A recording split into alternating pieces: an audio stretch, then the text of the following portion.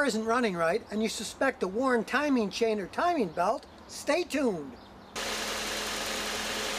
Because today I'm going to show you how to check a timing chain or belt using a timing gun.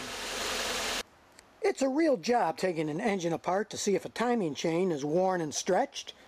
So today I'm going to show you how to tell if your timing chain is worn and stretched without taking the engine apart. Because you don't want to take all this apart just to find that there's nothing wrong in the first place, you would have wasted all that time and energy. So instead of taking the engine apart, you can use a timing gun. They're really easy to hook up.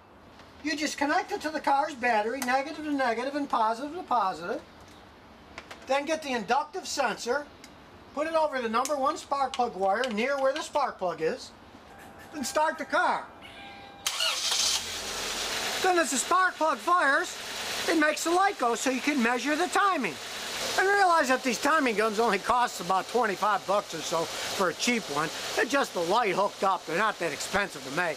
Now as a mechanic's tip before you check the timing, get some white paint and paint the timing mark on the crankshaft pulley because a lot of times they're dirty and you can't see them anymore. Now when you look down inside on the front of the crankshaft pulley, you can see I've painted a white line here so it's easy to read when you flash the light on it. You can see with the light flashing, the little white mark right here stays in one place at the edge where it's supposed to be. Now if the timing belt or timing chain had been worn, the mark will be way off where it's supposed to be and when you rev the engine up, it will jump up and down, back and forth because the chain's got slack and it's bouncing. Now I knew this timing belt was okay because I put a new one on about 4,000 miles ago. But when you don't know how old a timing belt or chain is and suspect that it's got a problem, it sure is an easy way to check it with this gun rather than taking the whole top of the engine apart and feeling the chain or belt with your bare hands.